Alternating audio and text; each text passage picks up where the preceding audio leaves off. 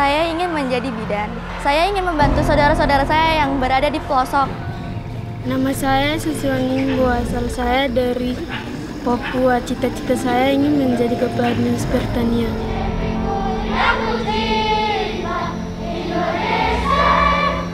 Cita-cita saya menjadi pendeta supaya saya bisa berdoa orang supaya orang bisa sembuh, bisa jalan, yang buta disembuhkan. Ya waktu uh, Yosua lahir, ketika kami tahu uh, Yosua nggak punya anus, kami sempat kecewa dan uh, sedih juga. Bukan membaik, tapi Yosua kritis dan uh, dianggap sudah tidak ada. Dan waktu lebih parah lagi, waktu kami bawa ke Jakarta dan uh, dokter katakan bahwa Yosua tidak bisa tertolong di, dari tiga rumah sakit di Jakarta sampaikan begitu dan kami sangat kecewa berat waktu itu. Saya lihat anak itu kasihan sekali gitu loh, kurus banget gitu. Maksudnya kita pikir ya kalau kita punya cucu gitu, gimana gitu.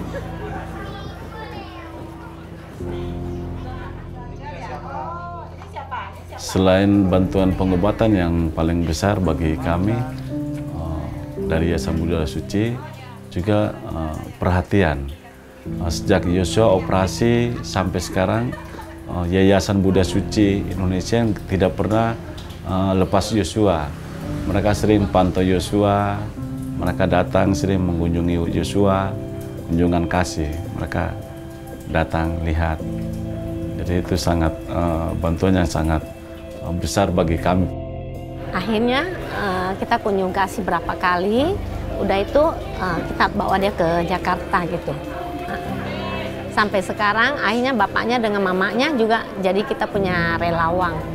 Dan bapaknya kan waktu itu bilang, dia pikir kita yang sumbang ini biaya semua. Ternyata waktu dia ke Rusung, dia tinggal di Rusung, dia lihat ternyata biar pengulung juga sumbang uh, dari sana dia ini apa terpanggil lah gitu terpanggil bisa juga bersumbang dan bisa jadi relawan.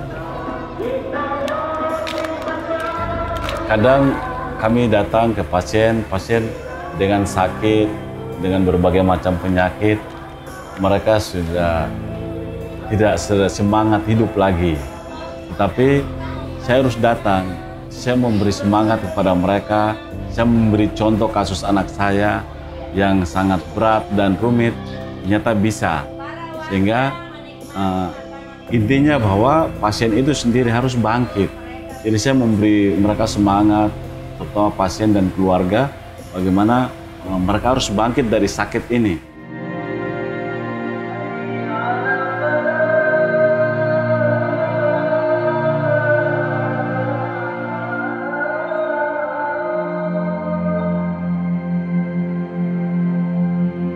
雅琪发生灾难的时候，张姐就一第一句话：“你知道不知道？”二十六那一天就到了，下午就到了。那时候一带在一起的时候，好像是做梦一样。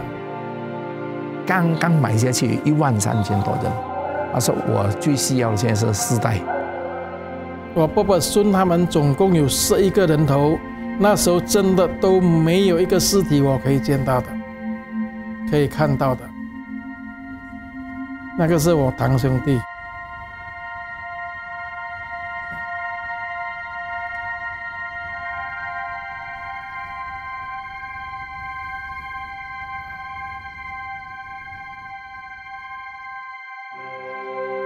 全部尸体扔在那边，小孩子的尸体一一路上都是这样走，一岁两岁的都很多。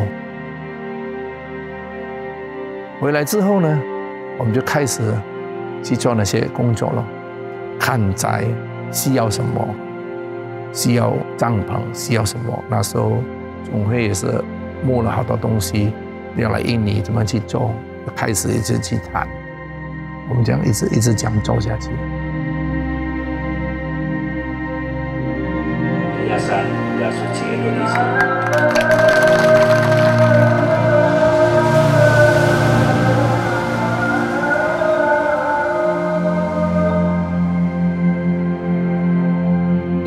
Bersyukur kali karena bantuan dapat bantuan rumah ini. Memang bersyukur kali.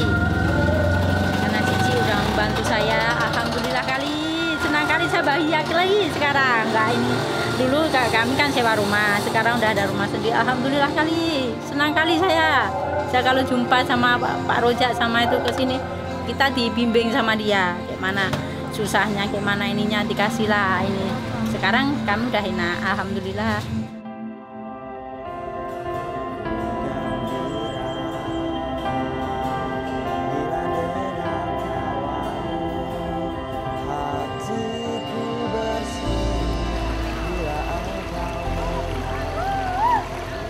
Kalau sekolah dulu di, diantar sama orang tua, diantar sama kakak yang lebih, lebih dewasa daripada kita. Gitu. Setelah ada jembatan, nah di situ kami sangat berbahagia sekali. Setelah ngabsen, saya kasih motivasi juga buat anak-anak. Dulu saya nggak pakai bangunan yang seperti ini. Saya dulu itu pakai alasnya pakai tikar. Kami itu sangat sangat berbeda sama keadaan seperti sekarang ini. Sangat bersyukur sekali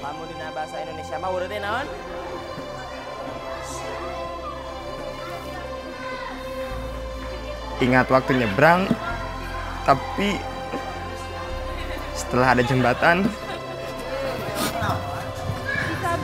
kami bisa sekolah lebih layak lagi seperti orang biasa sekolah. Tidak terhalang oleh air, tidak terhalang oleh banjir dan lain sebagainya. Sangat sangat terima kasih kepada Kak Berna. Kami dari anak-anak tim Padru ya. Tim Badru salah satunya saya sangat terima kasih banget eh, untuk Kak Berna yang telah mungkin eh, perantara ada sasak, ada jembatan di kampung kami ini. Terima kasih.